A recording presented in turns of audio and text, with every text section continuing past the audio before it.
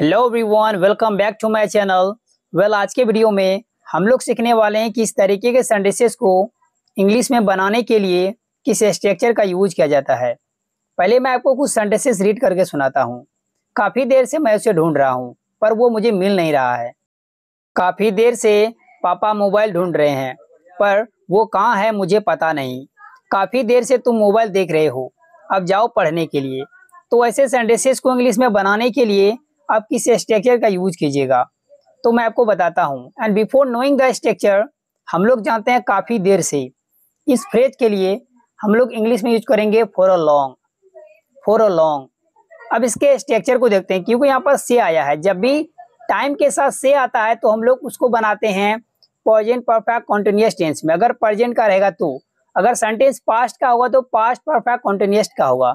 Structure देखते हैं, सबसे पहले लगाएँगे सब्जेक्ट सब्जेक्ट को लगाने के बाद हम लोग लगाएँगे हैज़ या हैव।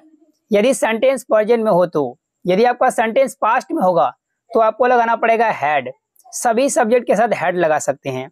उसके बाद आपको लगाना पड़ेगा बीन बीन के बाद वर्ब का I N G form I mean that gerund form of the verb before को राइट करेंगे। और लास्ट में ऑब्जेक्ट को राइट करेंगे, जो भी ऑब्जेक्ट रहेगा।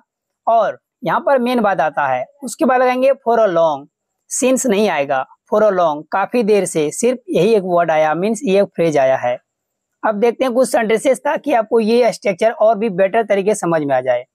तो आज का पहला सेंटेंस है, काफ़ी देर से मैं उसे ढूंढ रहा हूँ, पर मुझे मिल नहीं रहा है। इस सेंटेंस के लिए आप कह सकते हैं I have been looking for him for a long but I couldn't find him I have been searching him for a long but I couldn't find him क्योंकि यहाँ कोई लड़का है, अगर कोई सामान रहता तो ईट लगा देते हैं। नेक्स्ट सेंटेंस काफ़ी देर से पापा मोबाइल ढूंढ रहे हैं। इस सेंटेंस के लिए कहेंगे, papa has been looking for his mobile for a long papa has been looking for his mobile for a long looking for के जगह सर्चिंग फॉर भी कर सकते हैं। नेक्स्ट सेंटेंस और फाइंडिंग भी कर सकते हैं। नेक्स्ट सेंटेंस है, काफ़ी देर से मैं यह याद कर रहा था। इस सेंटेंस के लिए आप कह सकते हैं I had been remembering this for a long I had been remembering this for a long यहाँ पर लर्निंग भी कर सकते हैं रिमेम्बरिंग के जगह और मेमोराइजिंग भी कर सकते हैं। क्योंकि ये सेंटेंस पास्ट का था, इसीलिए हैड आया। नेक्स्ट सेंटेंस काफ़ी देर से तुम मोबाइल देख रहे हो। अब पढ़ने जाओ।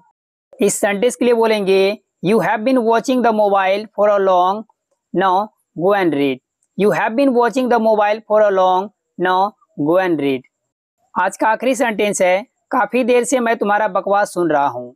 बकवास या काफ़ी देर से मैं तुम्हारा बकबक सुन रहा हूँ। तो इस सेंटेंस के लिए आप कह सकते हैं I been hearing your nonsense for a long I been hearing your nonsense for a long hearing के जगह हम लोग लिसनिंग का यूज़ कर सकते हैं, क्योंकि मैं उसका बकवास सुनना नहीं चाहता, जो चीज़ नहीं सुनना चाहते हैं हम लोग, वहाँ पर हम लोग हियरिंग वर्ड का यूज़ करते हैं हियर का। अगर जो चीज़ सुनना चाहते तो वहाँ पर लिसन वर्ड का यूज़ करते हैं।